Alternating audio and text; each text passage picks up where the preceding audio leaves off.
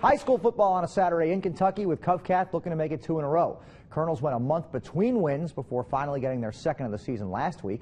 Despite that, though, still ranked number four in Northern Kentucky. Covcath and Sales of Columbus. Covcath on the move here. A.J. Mayer rolls and throws, and oh, he finds the wrong guy.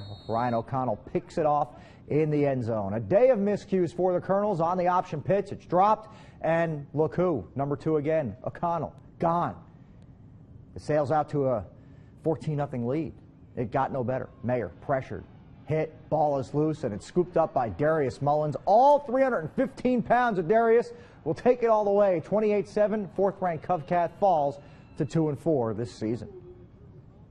Our game of the week on Sister Station Star 64, Batavia visiting Norwood, 7-2 game in the third. The kick comes to Olajuwon Wellington. A dream shake and a 66-yard return to the end zone. Touchdown Norwood, 10-7 there in the lead.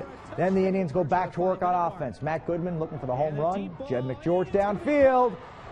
58 yards to make it a two-score game. Norwood wins big tonight, 30 to 7 the final score.